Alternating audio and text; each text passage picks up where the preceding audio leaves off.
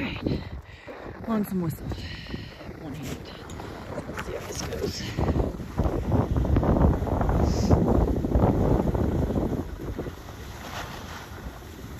Absolutely gorgeous views.